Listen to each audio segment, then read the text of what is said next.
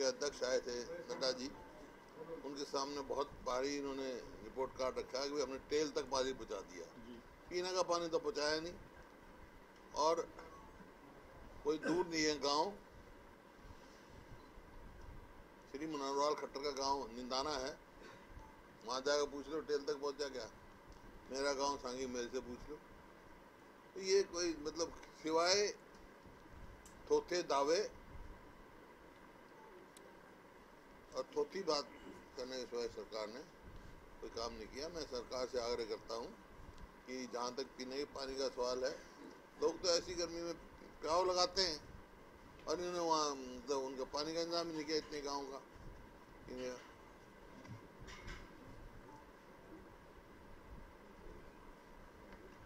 आपके माध्यम से मैं कहना चाहता हूँ, ये तुरंत उसके ऊपर कार्रवाई की जाए ये पाँच साल सरकार को हुए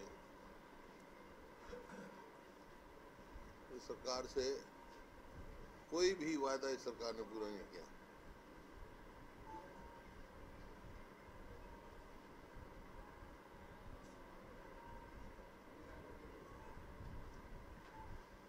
जैसे आप चर्चा कर रहे थे कि इसमें मेरे को कोई वो नहीं है संकोच कहने में। जो हमारे कांग्रेस के पद अधिकारी रहे वो पूरी तरह से मतलब सरकार से टक्कर नहीं दिया कमज़ोरी मतलब कमज़ोर हो रहा। नहीं तो जितने मुद्दे थे उन मुद्दों के हिसाब से उतनी मजबूती से नहीं लगा। नहीं नहीं हम तो करते रहे लेकिन पार्टी एज पार्टी जो है जी जी। वो, वो मतलब लोगों हित की लड़ाई पूरी तरह से नहीं लड़ पाए नहीं तो संगठन था नहीं तो फिर बाकी नेता कौन थे जो भी थे पदाधिकारी थे और थे कमज़ोर नेतृत्व रहा नहीं उसी कमज़ोर नेतृत्व को लेकर चर्चा के आज शाम को आपके वहाँ पे सारे अब जो इसी वास्ते आज मेरे सारे विधायक जो हैं वो आगे की रणनीति तय करेंगे। एक तो विधानसभा का सत्तर आ रहा है और जो ये आंकलन करेंगे उसमें उचित कदम उठाएँगे। ताकि सरकार पे लोगों का पूरा दबाव बना रहे और जनहित के जो भी, एक भी जनहित का कार्य इन्होंने फैसला नहीं लिया। जितने फैसले लिए हैं जन विरोधी लिए हैं।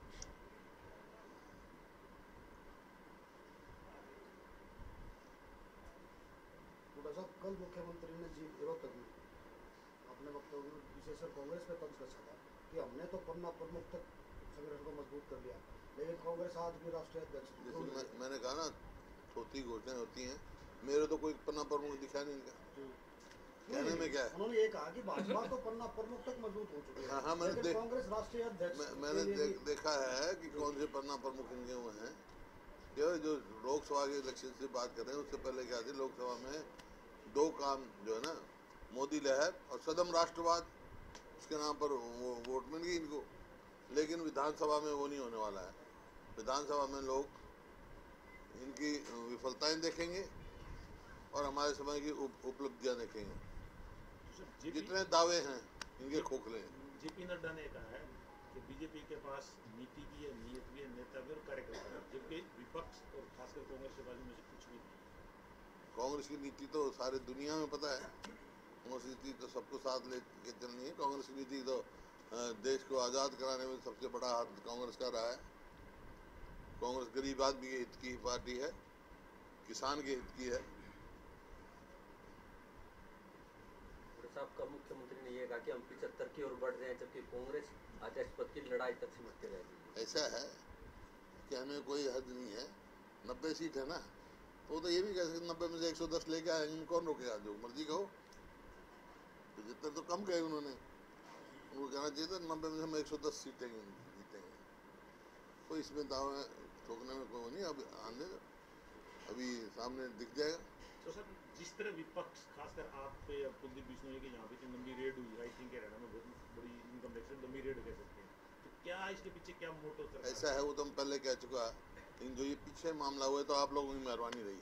मिस कोटिंग हाँ, मतलब जिसका सिर पैर नहीं ऐसी बातें लिख दी गई।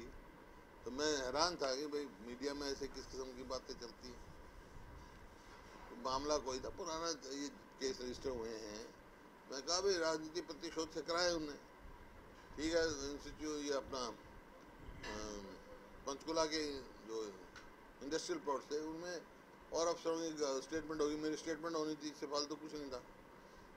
लेकिन पता नहीं क्या क्या कहानी बनाएगी क्या क्या हुआ। अखबार में। यहाँ तक कह दिया कि जिन्होंने ये कह दिया भाई अस्वस्थ हो गया अब अस्पताल में दाखिल है। तभी कोई मतलब ही नहीं। तो इस किस्म से जो भी मेरा यही है पत्रकारों से भी कि अगर जाने कोई मान लो मेरे बारे में बात हो तो कम से कम इतना तो बनता भी वेरीफाई करनी चाहिए कांग्रेस के अंदर जो हालाँकि कई अखबारों ने बहुत आज रिग्रेट भी किया है। रिग्रेट किया उन्होंने। कांग्रेस के अंदर जो कश्मकश चल रही है कब खत्म होगी और कब कांग्रेसी कांग्रेस में कोई कश्म कश्म नई बात नहीं है भाई पुराने जो आज़ादी से पहले भी गरम दल नरम दल थे वही हैं। तो कांग्रेस को उनका गरम दल था नरम दल था सुना होगा तुमने इतिहास अगर कांग्रेस का इतिहास पढ़ा तो तो कांग्रेस में तो चलता ही है। अच्छा साहब अभी आपने कहा कि भाई आज जो विधायकों की मीटिंग है आपकी रेजिडेंस में दिल्ली में उसमें विधानसभा सत्र के साथ साथ कुछ और भी मतलब ये मान के चले कि अब संगठन लड़े ना लड़े, भूपेंद्र हुड्डा ज़रूर मतलब लड़ाई लड़े नहीं, मैं तो इस सरकार के लड़ूँगा, ही लड़ूँगा। इसमें क्या दो राय है? और लड़ता भी रहा मैं पहले अब मैंने थोड़ा और जो पाँच साल जो है, पूरी तैयारी से कहीं किसान पंचायतें की हैं कहीं दलित पंचायत की हैं कहीं व्यापारी सम्मेलन किए हैं किए हैं, लोगों के मुद्दे उठाए हैं। लेकिन जो अब जिस किस्म का भ्रष्टाचार अब हो रहा है, अब एक एक पन्ना खुल के आ रहा है। जिस तरह ये आपका रोडवेज़ का हमने पहले दिन कहा था किलोमीटर इन स्कीम बनाई थी ये बड़ा भारी घोटाला है। हैं? एक के बाद एक घोटाला कर रहे हैं। मेरा सरकार से ये है कि सीबीआई बहुत जल्दी से केस देते हैं। ये इन घोटालों को सीबीआई को देना चाहिए।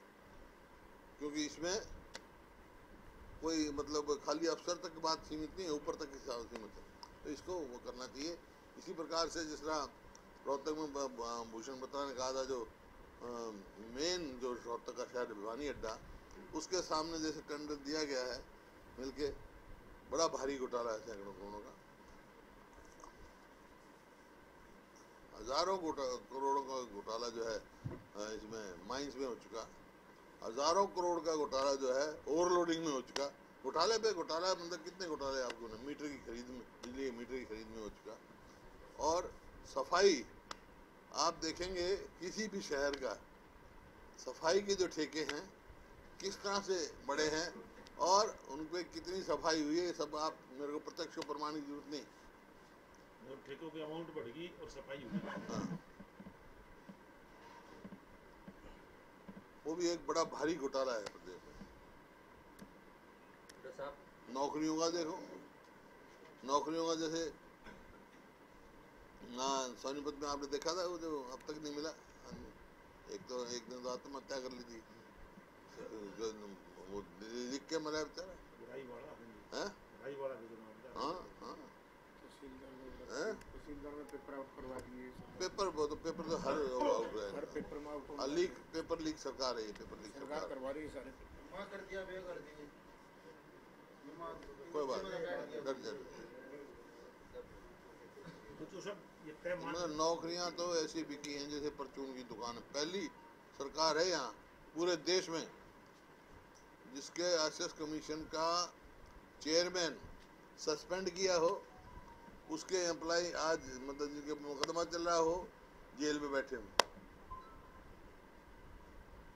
इसका मतलब क्या? इसका मतलब सरकार नौकरियाँ बिकती रही। इतने दो ये लो जिसका परचून की दुकान है। और दावा करते हुए हम तो बहुत ट्रांसपेरेंट हैं। नौकरी बहुत हमने वैसे दी है। जबकि इन्होंने जो पीछे क्लास थ्री के अप्लाई किए थे जो दावा किया था उनमें से बताएँ ये सरकार कितना ने ज्वाइन किया है? आज कितने हैं? ग्रुप डी में। हाँ ग्रुप डी के। कितने हैं आज? आधे छोड़ गए क्यों? क्योंकि B M M Ed M B A इन लड़कों को कुक लगा दिया गया। मतलब जो गरीब आदमी लगता था, जिसका हक बनता था, वो अपने उससे वंचित हो गया और ये अपने आप को अपमानित महसूस करने लगे। छोड़ा है। दोनों वर्गों को उन्होंने किया। साथ साथ में तनख्वाह नहीं मिलती कांग्रेस के अंदर ना जिला प्रधान है, ना हल्का प्रधान। ये कमी लोकसभा में खली थी। अब विधानसभा में ऐसा नहीं विधानसभा भी ना जब तो मैंने कहा ना भाई जो हमारे पाँच साल रहा कांग्रेस का जो नेतृत्व ने पूरी तरह से लड़ाई नहीं लड़ी पूरी शक्ति से लड़ाई नहीं लड़ी। और उसका एक कारण ये भी हो सकता है अगर संगठन में आपके पदाधिकारी नहीं ब्लॉक नहीं होगा जिला नहीं हो संगठन में कमज़ोरी आती है। तो अभी वही स्थिति है जी। अब उसको कैसे बदलोगे आप? कह रहे हैं हम तो कह रहे हैं पूरा बदलो। निकट भविष्य में ऐसा मामला नहीं तो जी। देखो मेरे को उम्मीद है। मेरे को उम्मीद है कि भाई राहुल गांधी जी अपना इस्तीफा वापस लेंगे और पूरी ज़ोर शोर से देंगे और पूरी ज़ोर शोर से लगेंगे संगठन। कब तक हो सकता है जी? अब वो उनकी बात है जैसे आप भी वर्करों का बड़ा दबाव है सपोर्टर का कि तू सब करो फैसला करो आप उनको कब तक रोकेंगे? हैं आपके जो सपोर्टर हैं हाँ जो चिंतित भी हैं वो आप पे भी शायद दबाव बनाए हुए होंगे कि भाई दस साहब आप भी कोई फैसला करो। अगर राहुल जी चुनाव तक नहीं फैसला करते देन तो किसी को तो बनाएँगे? नहीं हरियाणा की बात कर रहे हैं। हरियाणा में भी देखो को। कितना दबाव है? समर्थकों का? मेरे ऊपर तो हरियाणा। मेरे तो हरियाणा के लोगों का दबाव है। इस उस दबाव को लोगों के जो अंजाम तक पहुँचाए लोगों का जो जो आज हालत हुई है किसान आज बर्बादी के कगार पे है। गरीब आदमी, दलित हैं, उनको देखो, तीन लाख बयासी हज़ार प्लॉट दिए एक दिया नहीं दिया सरकार, नाम बता इसी प्रकार से व्यापारी जो है, वो अपने आप को ठगा महसूस कर रहा है। वो हमारा मुनाफा तो गया दूर, हम तो अपनी पूंजी खा रहे हैं। कर्मचारी हो, आप तमाशा देख ही रहे हो, सड़कों पर रहते हैं। इस प्रकार से हर वर्ग परेशान है इससे। और कानून व्यवस्था की जो धज्जियाँ इसमें उठी हैं, जब बहुत करते हैं, आप देख रहे हैं, कानून व्यवस्था नाम की तो क्यों चीज़ प्रदेश में रही नहीं। क्राइम रेट बहुत बढ़ गया। और हर चीज़ में आप देखो, अब मैं देख रहा था, पीछे अखबार में आ रहा था कि बेरोजगारी कितनी बढ़ी ये मेरी नहीं है, ये ऊपर का हुआ है। 2012 11 12 में प्रतिशत के हिसाब से बेरोजगारी हरियाणा में दो दशमलव आठ थी, जो कि आज देश की जो है, उस छः दशमलव कुछ छः है देश में दो दशमलव आठ थी। और हरियाणा में आज के आज कितनी है? आठ दशमलव छः प्रतिशत। तो ये बेरोजगारी बढ़ी है। तो इसमें कैसे प्रदेश का काम चलेगा? रोज़गार ही नहीं उपलब्ध कराओगे तो आप क्या करेंगे? कोई एक चीज़ नहीं बता सकते हमारी ये उपलब्धि। तो राहुल जी समझ नहीं पा रहे या समझने की कोशिश कर रहे? जो ये जनता का दबाव इतना ये तो आप राहुल जी से पूछो। फिर भी आपकी हमारे नहीं नहीं मैं तो मैं मतलब अभी तो मिला नहीं पहले तो हमने कहा था उनसे आग्रह किया था लेकिन उन्होंने मना कर दिया। साहब हरियाणा के अंदर प्रदेश अध्यक्ष पद के लिए कभी दीपेंद्र जी का नाम आ गया कभी कुलदीप बिश्नोई का कभी कुलदीप शर्मा का। आपकी नज़र में कौन से दो तीन नेता ऐसे हैं जो फिट साबित हो सकते हैं? अच्छा आपकी नज़र में कौन है? मेरी नज़र में वही है जो कांग्रेस को सक्रिय कर दे। और पूरी टक्कर ले ले। जिसमें इतनी क्षमता हो। ठीक है भाई। कर ले जी आप कर दो।